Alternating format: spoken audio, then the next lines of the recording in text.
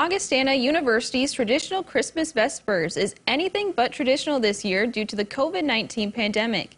KELOLAND's Max Hofer fills you in on what why it'll be sound a little different this year. Good morning, Max. Good morning, Sarah. Now, the university's new School of Music has faced many challenges launching in the year of the pandemic.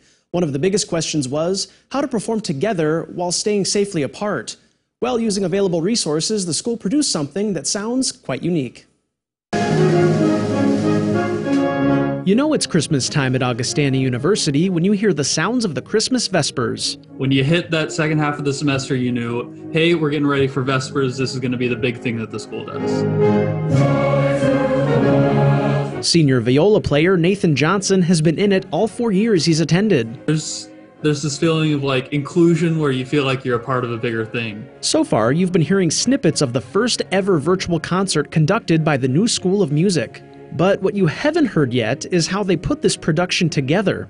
They're not actually singing or playing through their face masks. It was unlike anything I've really ever done. Each section of the orchestra was put into separate rooms.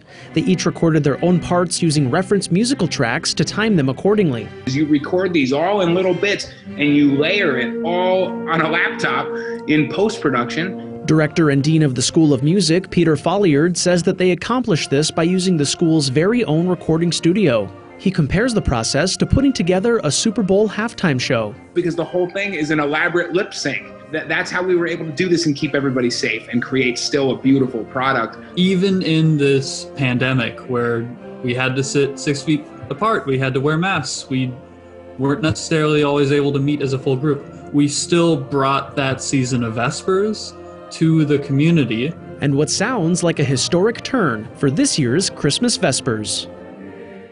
Now the production airs this Saturday at 7:30 p.m. on YouTube. We have a link to the YouTube premiere and other showtimes under this story at keloland.com.